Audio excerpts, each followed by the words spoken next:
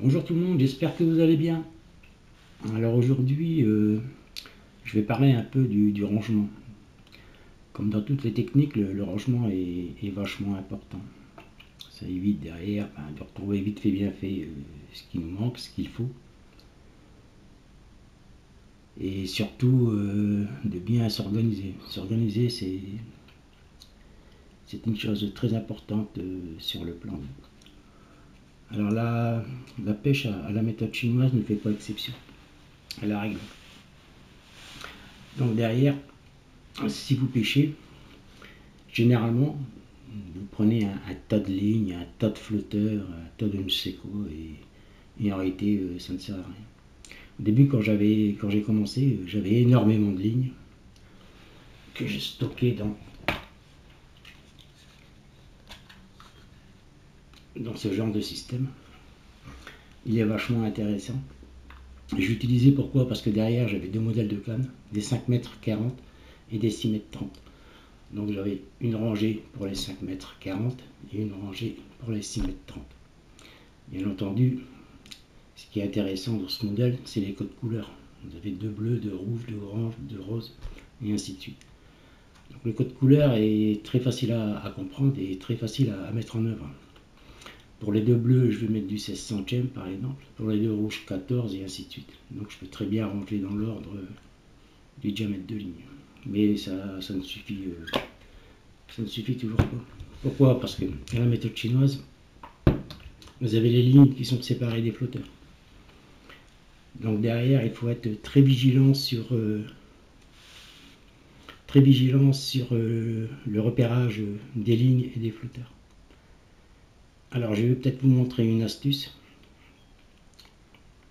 La première astuce consiste à utiliser de la gaine. Ce genre de gaine. Vous trouvez ça dans les supermarchés. Ça vaut pratiquement rien du tout. Donc déjà moi quand je vais à la pêche, j'utilise quel organisateur J'utilise ce modèle là que j'ai modifié un peu parce qu'à la base il ne contenait que des flotteurs de chaque côté. Donc j'ai modifié un petit peu cette partie-là pour pouvoir mettre quelques lois de lignes et surtout mettre des lignes. Donc je pars à la pêche, généralement c'est ce coffret-là, c'est le coffret pêche au cou. Donc je n'ai que 4 lignes je n'ai que 4 flotteurs. Alors pour les lignes, les lignes j'utilise toujours le même diamètre. Ça c'est du 16 centièmes. Largement suffisant. Je vais seulement modifier le, bas de ligne où je vais descendre 14 centièmes. Mais en 16 centièmes encore de ligne, c'est largement suffisant. Alors généralement, quand on prépare une ligne, on va la préparer en fonction d'un modèle de flotteur. Le modèle de flotteur, on ne connaît pas le grammage. Donc derrière, il est très important derrière de, repérer la ligne en fonction du flotteur, flotteur, utilisé. Si vous prenez une ligne et que ce n'est pas le bon flotteur, euh, vous risquez de bien galérer. Donc là, moi, la, méthode que j'utilise, c'est la méthode des aiguilles avec une couturière avec une boule. Donc si vous avez une boule rouge, je vais utiliser un flotteur, un flotteur marqué en rouge. Mais là, comme par hasard, je ne l'ai pas. Alors c'est pas grave, je vais prendre cette ligne, une aiguille avec une boule bleue, je vais récupérer mon flotteur avec ici un morceau de gaine bleu. Voilà, c'est très rapide. Je vais pas me creuser la tête pour trouver le bon flotteur. Si je vais utiliser par exemple cette ligne avec une aiguille, avec une boule verte, je vais automatiquement me diriger vers le flotteur avec une gaine verte. Voilà, je vais pas chercher, c'est cette ligne et ce flotteur qui convient. C'est très rapide. Ensuite, derrière, une petite astuce au niveau des dévidoirs. Alors, les dévidoirs, il en existe plusieurs modèles.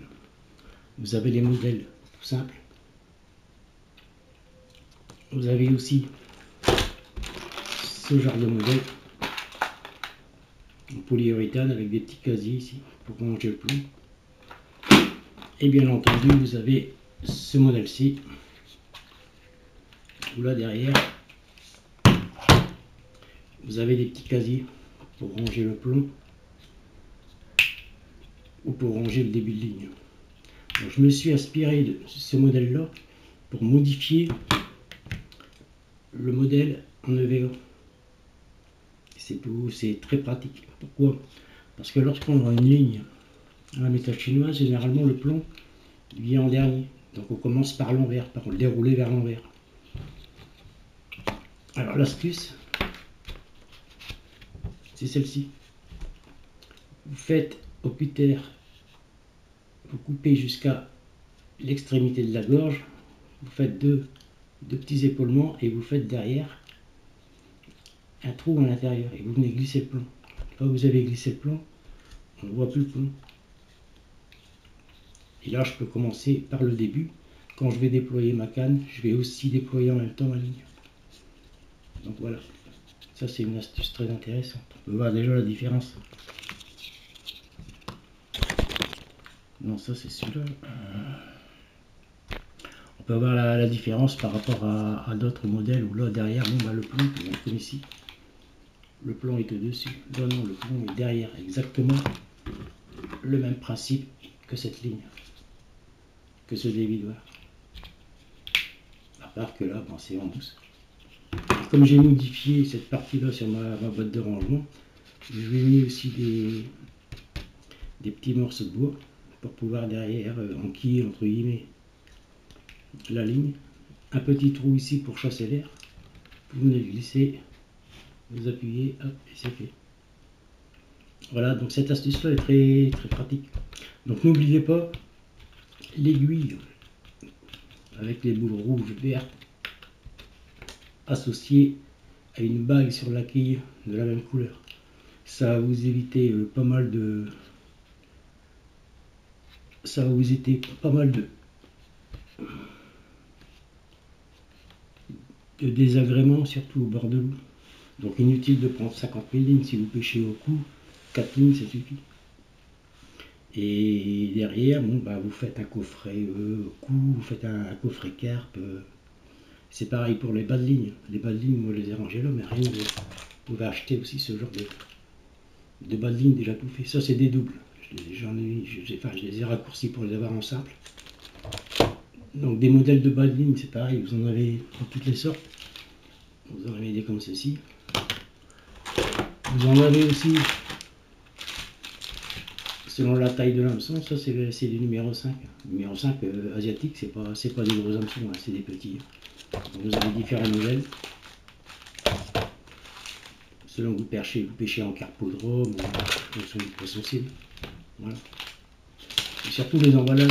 Une fois que vous avez tout consommé vos hameçons, ne jetez pas. Vous pouvez la réutiliser pour faire d'autres bas de ligne. Et là, l'avantage aussi, c'est que derrière, il y a deux couleurs. Vous pouvez dire, bon, moi, un jaune, je vais faire du 16 centièmes. Et je vais retourner en mettant un deuxième ici. Et là, faire du 14 centièmes. Donc, les, possibilités sont, sont énormes. Voilà, j'espère que cette vidéo vous aura intéressé. En attendant, je vous dis ben, à bientôt. Ciao